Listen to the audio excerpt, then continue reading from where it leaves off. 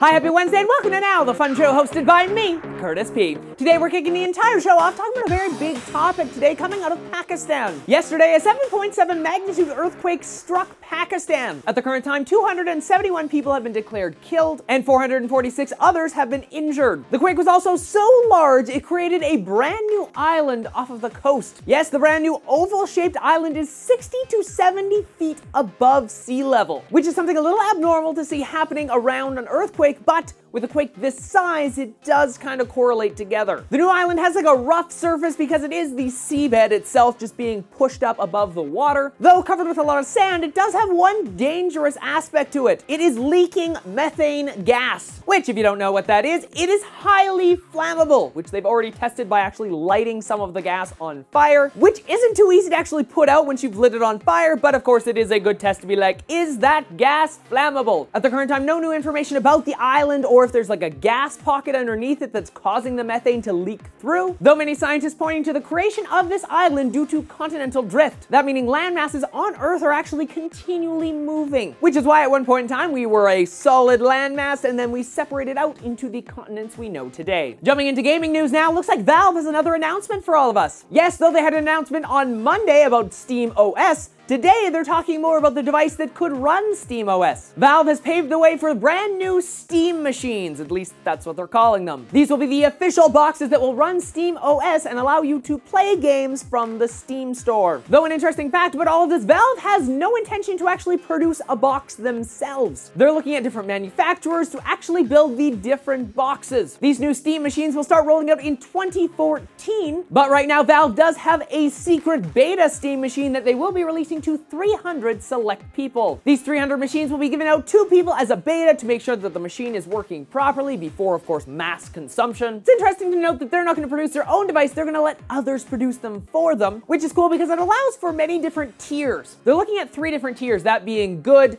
better, and best. The good boxes will allow you to simply stream games from another computer in your home using that computer for the processing power. The better ones will be able to do kind of half and half. If it's a intense game, They'll require that other computer to do the processing. If it's a simple game, they can play it locally. And the best machine will play it all locally. It will do all of the processing, all of the hardware and software sort of stuff will all happen locally inside of the Steam machine. I think it's an interesting concept. It allows for different tiers, of course, and allows one box to be very cheap and very appealing to a mass market. But look out, this is only the second of three announcements that Valve has for this week. Yes, on Friday they will have another announcement for all of us. Currently, rumors are pointing to the fact that they will release something that has to do with controls, because they have yet to talk about that. So if you're a big fan of Steam and Valve, well, this is pushing towards bringing that to your big screen TV in a more native format. And talking about video games, let's talk about video games being made into movies. DreamWorks and Electronic Arts have announced that Need for Speed is becoming a movie. A new trailer for the movie has been released today, and Breaking Bad fans rejoice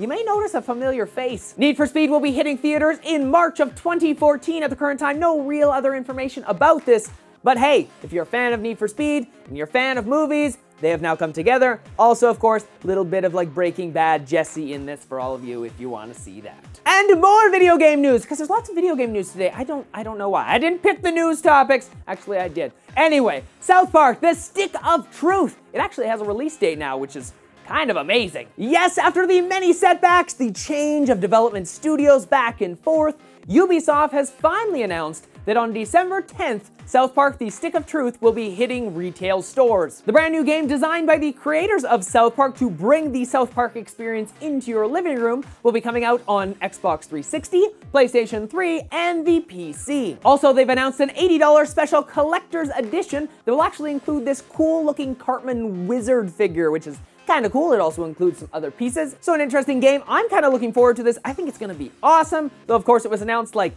a year ago or two years ago. It's super delayed, but I think it's gonna be a great game. And last, in the world of YouTube, let's talk about audio on YouTube because today, YouTube had a big announcement about all that. Audio can be traditionally a tricky subject to get on YouTube due to copyright problems and other related things. But today, YouTube has announced 150 royalty-free instrumental tracks for you to use in your videos. That's right, so if you're looking for the perfect background track, YouTube can now give it to you and be like, please make something beautiful. To which you will go and make something beautiful. I'm sure of it. You have the power. I think it's pretty cool. All of the tracks are free for download right from YouTube. They're accessible inside of your video manager panel. They're underneath the brand new creation tools. I think it's great that YouTube is giving creators this tool to actually help them out, make their videos a little bit better, thus in turn attracting more people towards those videos and making YouTube more popular. So in the end, it's a little about you and it's a lot about what YouTube kind of wants this place to turn into. But hey, it's a good step and everyone kind of benefits. All right, having talked a lot about video games today, I want to know your thoughts on video games being turned into movies, kind of like Need for Speed. Do you like the idea or have previous attempts at like turning video games into movies turned you off of the whole thing? Like you don't want to see it. Let me know in the comment section down below what you think. Also, you can let me know on my Facebook page, Twitter account, or through Google+. Links to all that and the other topics I talked about in today's episode in the description down below. Check out all the links down there, tons of fun links. Of course, if you enjoyed today's show, why not hit that like button, subscribe, and maybe even share the show with your friends. Until tomorrow, I'm Curtis Paradis, and that's what's happening now.